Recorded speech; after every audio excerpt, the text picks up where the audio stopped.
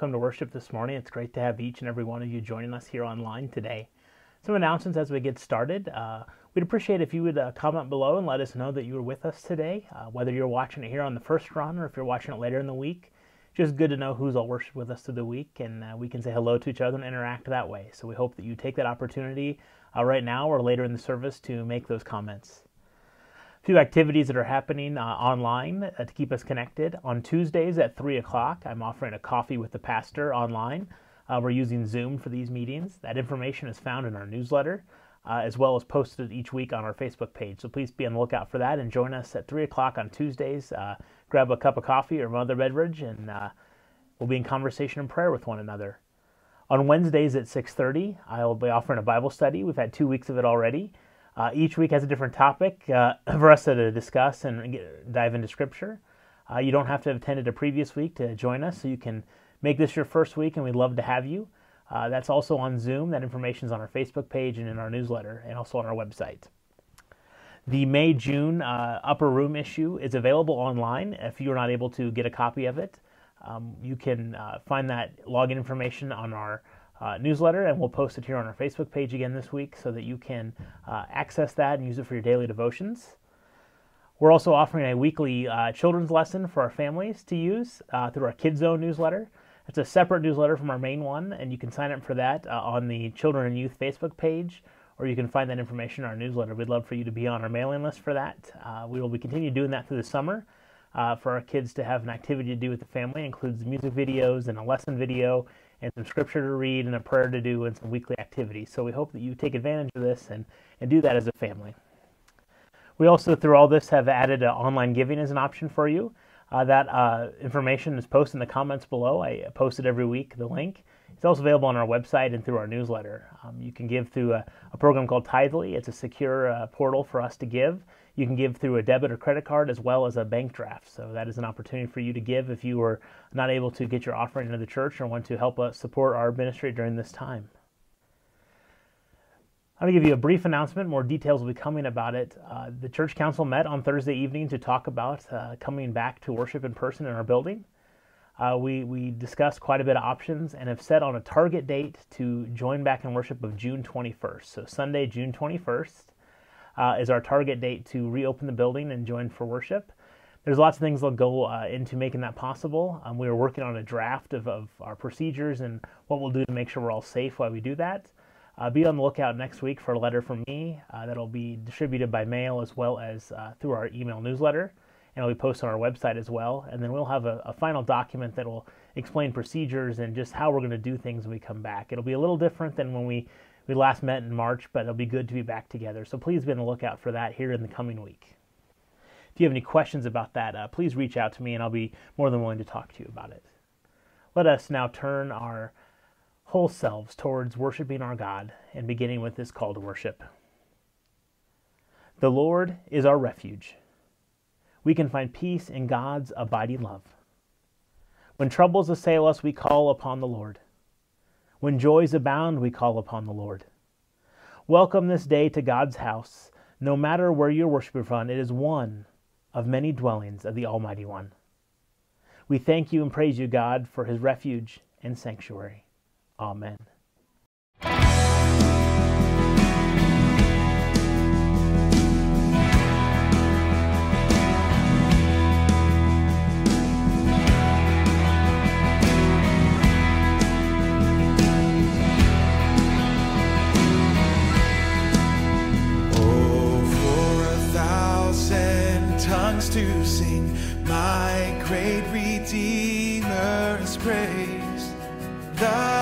Glories of my God and King, the triumphs of His grace.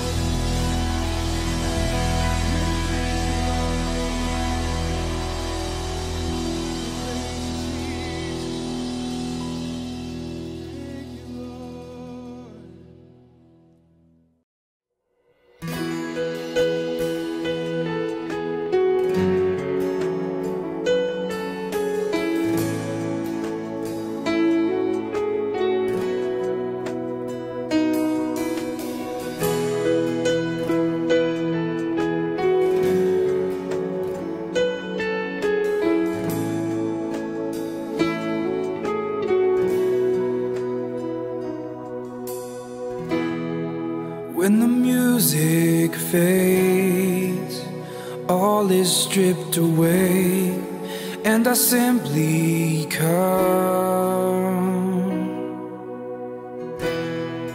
Longing just to breathe something that's a word that will bless your heart.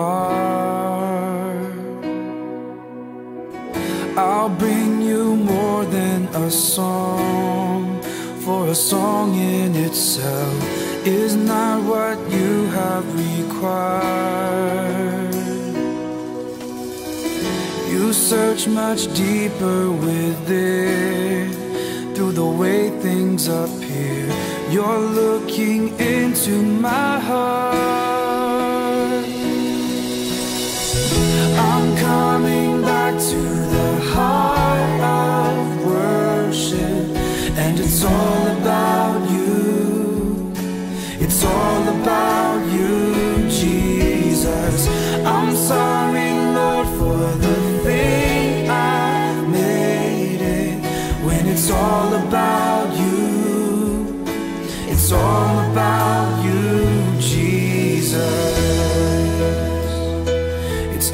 about me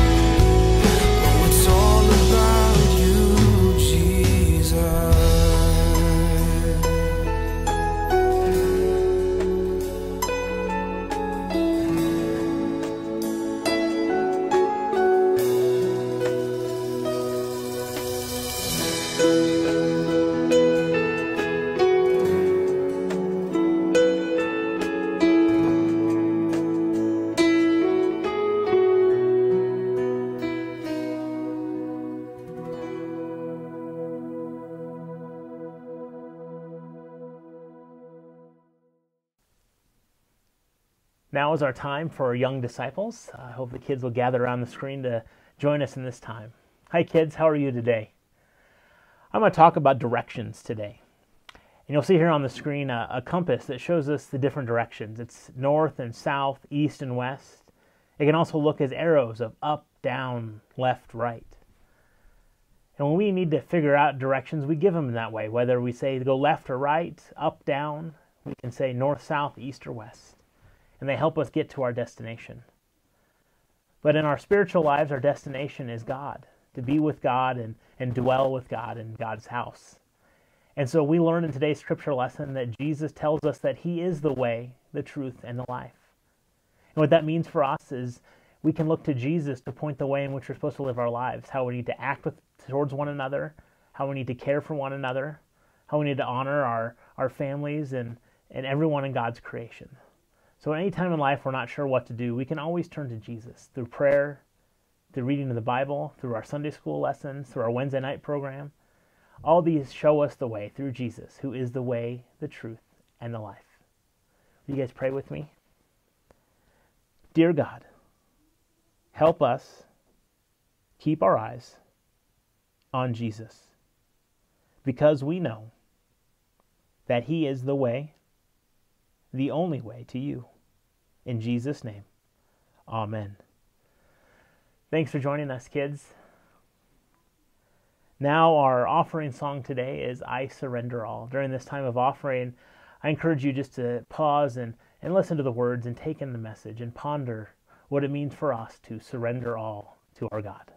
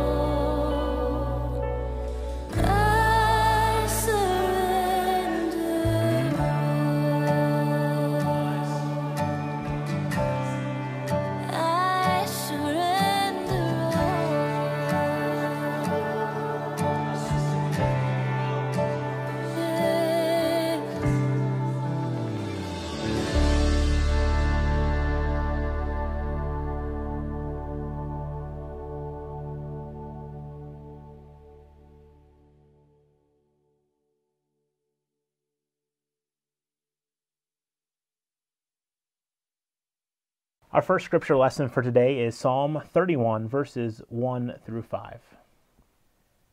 In you, O Lord, I seek refuge. Do not let me ever be put to shame. In your righteousness, deliver me. Incline your ear to me, rescue me speedily. Be a rock of refuge for me, a strong fortress to save me. You are indeed my rock and my fortress. For your name's sake, lead me and guide me. Take me out of the net that is hidden for me. For you are my refuge. Into your hand I commit my spirit. You have redeemed me, O Lord, faithful God. And our gospel lesson today comes from the Gospel of John in the 14th chapter, starting in verse 1. Do not let your hearts be troubled. Believe in God, believe also in me. In my Father's house there are many dwelling places. If it were not so, would I have told you that I go to prepare a place for you? And if I go and prepare a place for you, I will come again will take you to myself, so that where I am, there you may be also. And you know the way to the place where I am going. And then Thomas said to him, Lord, we do not know where you are going. How can we know the way? And Jesus said to him, I am the way, and the truth, and the life. No one comes to the Father except through me. If you know me, you will know my Father also. From now on, you do know him and have seen him. Philip said to him, Lord, show us the Father, and we will be satisfied. Jesus said to him, Have I been with you all this time, Philip, and you still do not know me? Whoever has seen me has seen the Father. How can you say, Show us the Father? Do you not believe that I am in the Father, and the Father is in me? The words that I say to you I do not speak on my own, but the Father who dwells in me does his works. Believe in me that I am the Father, and the Father is in me. But if you do not, then believe me because of the works themselves. Very truly I tell you, the one who believes in me will also do the works that I do. And in fact, will do greater works than these, because I am going to the Father. I will do whatever you ask in my name, so that the Father may be glorified in the Son. If in my name you ask me anything, I will do it. I've entitled today's message The Journey as I think about what life really is for us. Life is a journey in which we have ups and downs, we have unexpected curves and turns. We find ourselves in uncertain times, not just now, but all throughout our lives. Things that rock our faith, things that make us unsure of what's next. We long for normalcy, whatever that word means to you. We long to be back in community with one another. We long to have more control over our lives than we do right now.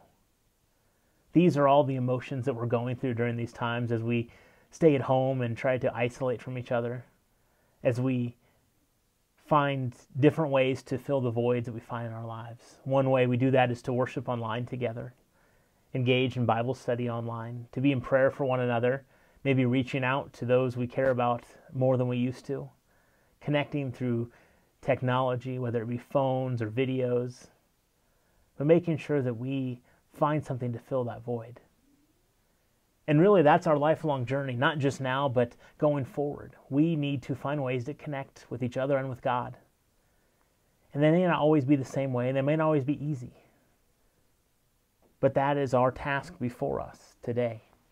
This passage from John is one that I preach from numerous times a year. I would say, on average, somewhere between 12 and 20 times a year, I, I have this passage come up one way or another because we usually read this passage and, and the verses that follow during a, a funeral, a time when we come to mourn together. And we don't read it because it's a sad passage that makes us release our emotions, but it is the passage of hope hope for a new possibility, hope that we may be able to go on to something better and greater than us. Jesus is talking to his disciples in his last days. He is telling them that he's not going to be with them much longer that he is going to depart from them and that their way of doing things is going to be different. They had relied on Jesus for so much. He guided their, their travels, he taught them, he challenged them. He became their safe place. They knew that as long as they could physically follow Jesus, they were okay. But a time was coming where that was going to be changed. He was trying to warn them that you better prepare for something different. But in the midst of it, he says, Do not let your hearts be troubled, because you should believe in God and believe also in me. He tells us that his Father's house has many dwelling places, and he's going to prepare a place for us. That Jesus is thinking about us even when he's not with us, even when we're not together with him in person. He's telling us that he is going to prepare a place for us. Now, Thomas, the great questioner of history, says, But Lord, we don't know where you're going.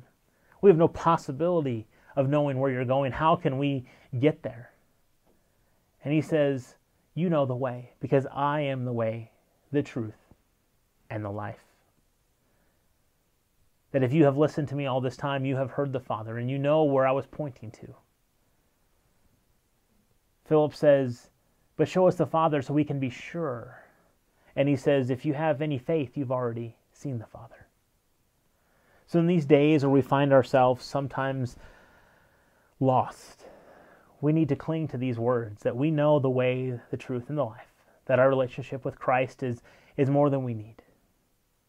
You see, no matter where we find ourselves on this journey, God is walking alongside us, guiding us, strengthening us. We have a promise from Christ here in the 14th chapter of John that says, Cling to me. You know the way. Even when I'm not physically with you you can't see me, I'm here, guiding you and strengthening you. We're told later in this chapter that the advocate, the Holy Spirit, will be sent in Jesus' name to remind us of all that he has taught us. He says, Peace I leave with you, my peace I give to you. I do not give to you as the world gives. Do not let your hearts be troubled, and do not let them be afraid. A powerful message. We hear those words throughout Scripture do not be afraid. It's easier said than done. The uncertainty before us, not knowing what's next, not knowing if we'll get back to opening stuff up and, meeting together, and then another wave will hit and we'll have to go back into separating from one another. How do we protect each other? How do we also have faith that God is with us and that God is calling us to something? I think the one thing that's been evident to me through this is that the church is more than the building and more than the individuals who gather. That we collectively are the church wherever we are. That we are stronger than the sum of our parts. That we will come out on the other side of, of this crazy time stronger and more committed. One thing I know for sure the church will not look the same as it did the first couple weeks of March. And that might not be a bad thing. We may be more focused on our mission. We may be more worried about caring for one another and reaching out to people. We may now know that we need the message of, of the good news of Christ more than ever. And that is what Jesus tells Philip and the other disciples that he will continue to do the works through them.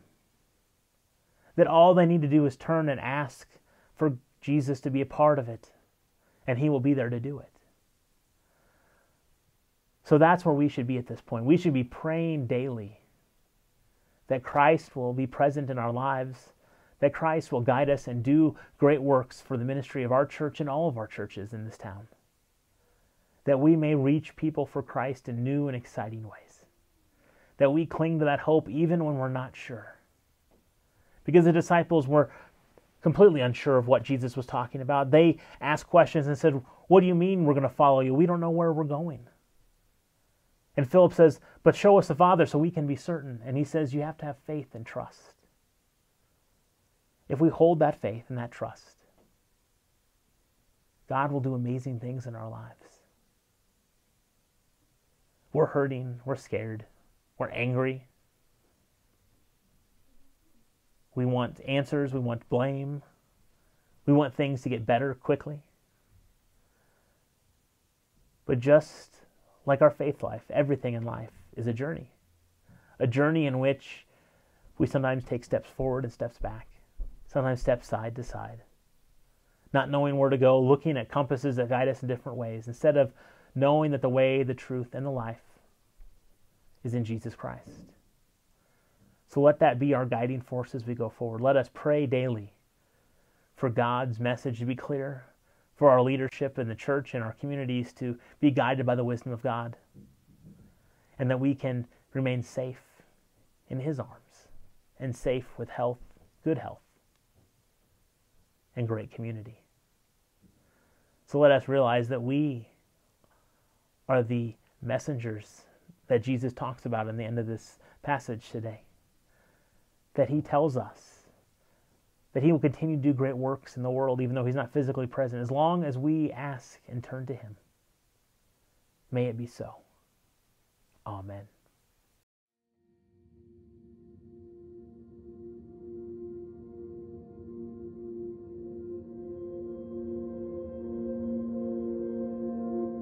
Life can bring us storms. Those moments where we wander, wonder, doubt. The journey doesn't stop, but the progress does. It can be lonely, painful.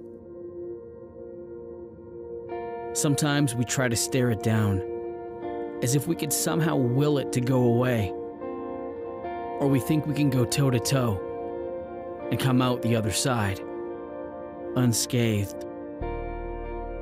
We often forget just how small we are. The truth is, storms are inevitable. But when they appear, we have a protector, a savior who knows a thing or two about calming storms a God who is a stronghold in times of trouble. In our weakness, He is strong. In our fear, He is courage. In our desperation, He is peace. Yes, storms are inevitable. But our God is invincible.